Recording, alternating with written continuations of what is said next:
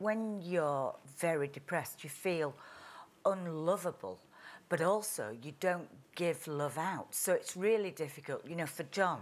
Well, your husband was, John's with us here, actually, yeah. for the audience. Hi, John. And he really had to deal with so much. And I have to be honest, I think if it were the other way around, I love him madly, but I don't think I'd be very good well, at dealing with no, it. No, and a lot of people, it does split them up, doesn't it? Because they can't deal with it. Yeah. And so it's easier for them yeah. to walk away because they feel yeah. helpless. I mean, yeah. did you ever have times like that, John, where you thought, I, I can't help her? Yes, yeah, all, all, often. But I think the thing is as well, it's like Beverley said, the, you have to keep talking.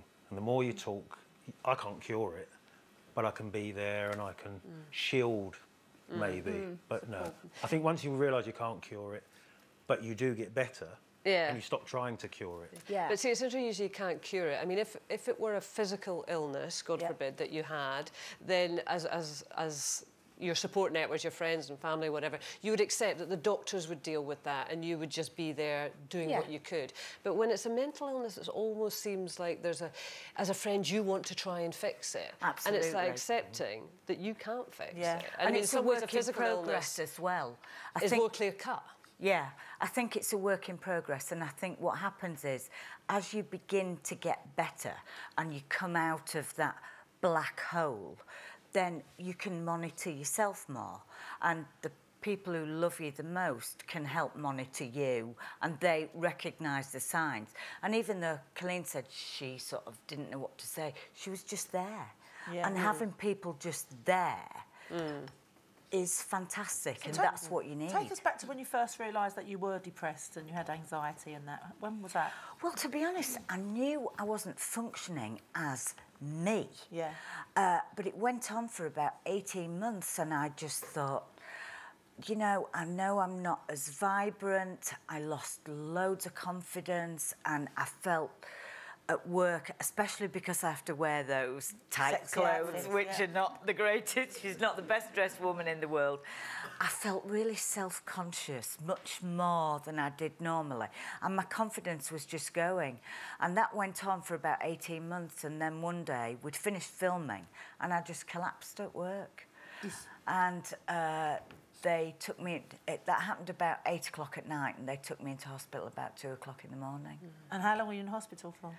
Uh, about 10, 12 weeks. For a long time, yeah. yeah.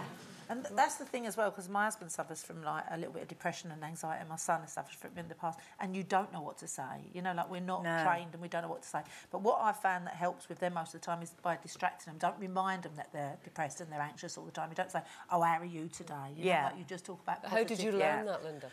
Um, just by looking up on the internet and you know. And was there times though that you found it frustrating, where you want oh, to go, oh. oh. Honestly, it's just like, because you really, you, you can't help them. You can be there for them, but we haven't got a cure for it. You know, it's, yeah. it's really And it's hard to understand. John went to night school for two years to do a counselling course just to try and understand. understand yeah. Mm. And did that help, John? Do you think you understand now? Yeah, I think, um, yeah, of course it helped. But yeah. uh, again, we always look for this yeah. instant fix and there isn't right. one. But, and John's, you, but you do get better. That's John's saying thing. in life is adapt and overcome.